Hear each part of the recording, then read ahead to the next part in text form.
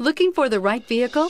Check out the 2021 2500. Ram 2500 is the 2010 Truck of the Year winner. It is the hardest working truck in tow business. This vehicle has less than 100 miles. Here are some of this vehicle's great options. Electronic stability control, brake assist, traction control, rear step bumper, four-wheel disc brakes, speed control, front license plate bracket, rear window defroster, low tire pressure warning, power windows. If you like it online, you'll love it in your driveway. Take it for a spin today.